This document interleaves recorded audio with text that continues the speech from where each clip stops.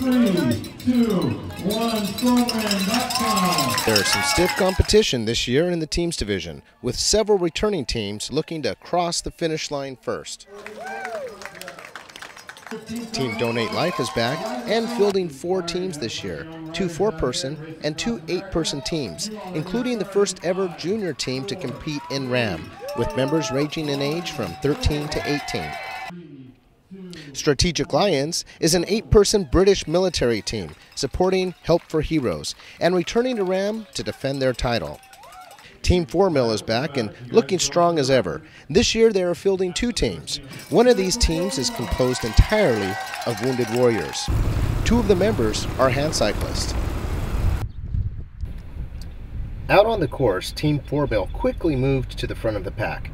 This is the third RAAM for this 4 Mill team, who are looking to improve upon their second place finish last year You know, we're going to stick to the plan and not worry too much about what the other teams are doing. And if, uh, if in the end of 3,030 miles or whatever it is, they're faster, they're faster. But uh, I think uh, I think we've got a good plan. So.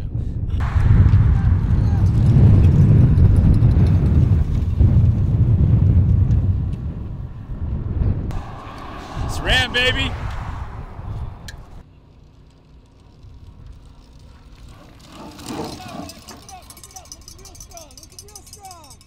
Out on the course, the Strategic Lions are holding steady towards the front in second place for the eight person male division.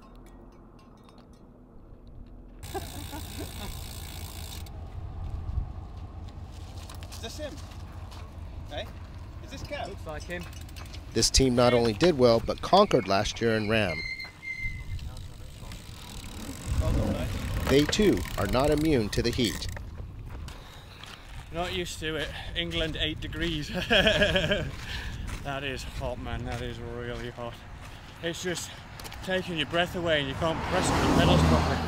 You just want to press that a little bit harder. It's, it's in your legs, but your cardiovascular system just doesn't want to. You just can't push on. Yeah, it's tough. It's tough.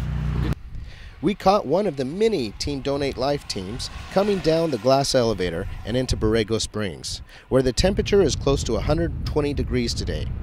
We stuck with them to talk to their rider after his descent down the glass elevator. You have to be cautious. You can lose this whole ramp on that descent, and so you just have to you have to ride within yourself. You have to be cautious. You got to watch the crosswinds because the way they come on you around corners and such. You just have to be a smart rider and, and, and make the make the descent.